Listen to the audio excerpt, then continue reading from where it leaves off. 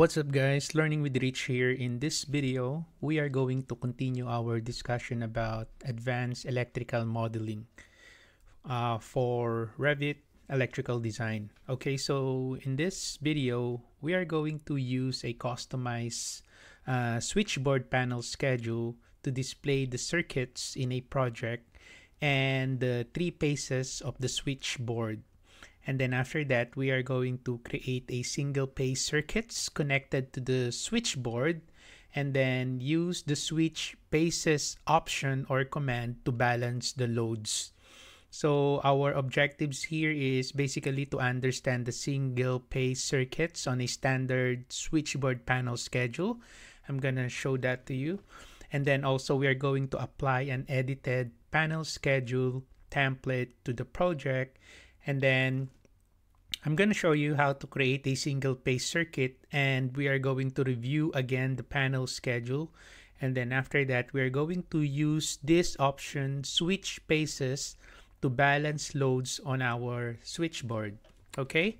So as you can see on our view right now so we are on one dash power and then there are some uh, fixtures here that is already placed. This actually a heater okay so if I go check this one out in a 3d view it's just a box okay? But what makes this um, family uh, important or good it's because of the connector that is attached to that.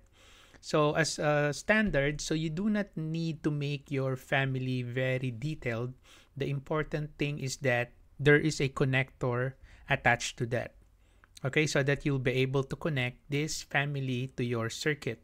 So it doesn't matter even if you have only a box as long as there's a connector. Okay? So if you are going to make your family really very uh, really detailed so sometimes it slows down your project. That's why uh, you just need to get the dimension and then just put a connection or, or connector to that so that you'll be able to place that to a circuit so this is my uh, heater. So as you can see, it's placed all over this floor plan. And all of this, um, or most of the circuits created for my heaters are connected to my family here, my switchboard, this one. So again, this is my metering switchboard. And if I'm going to check that in the 3D view, again, it's only a box.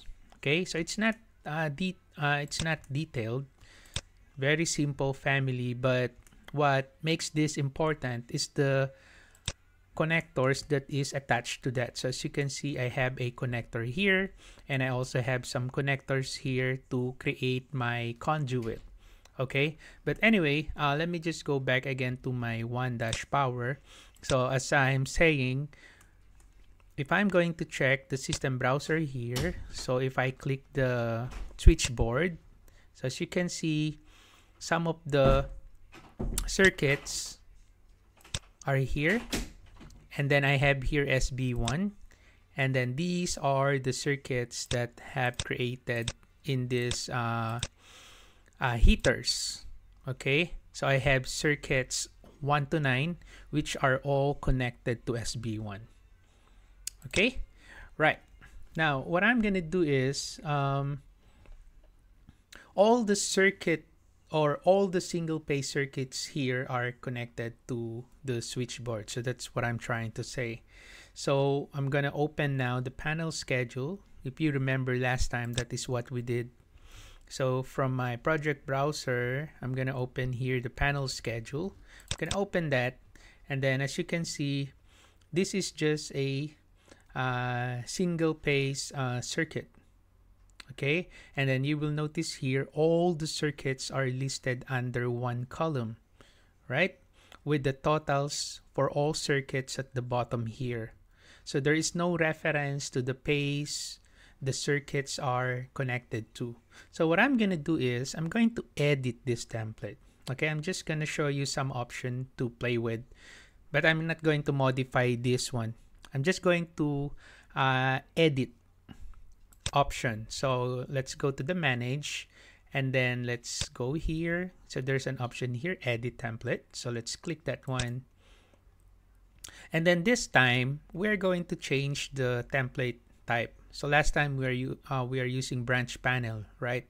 So this time, we're going to use a switchboard template. So let's click the switchboard and then I now have here two templates. So PS switchboard, the other one is switchboard default. So I'm gonna select here the switchboard default and then I'm gonna open that. And straight away, so this is now how the switchboard template looks like.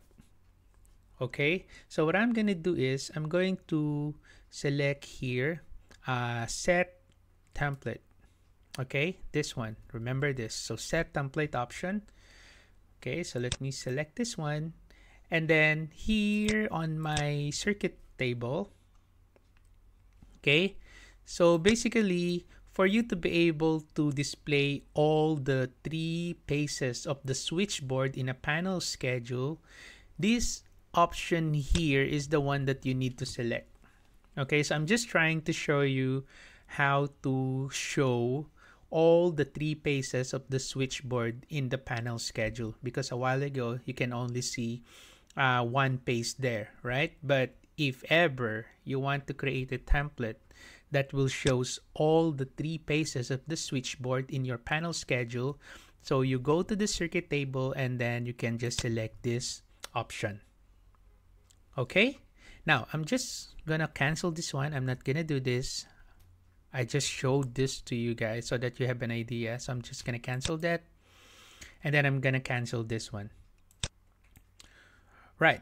Now, the next thing that I'm going to do is I'm going to change this template here. Okay. So you see there's a template there. So I'm going to select here, change template.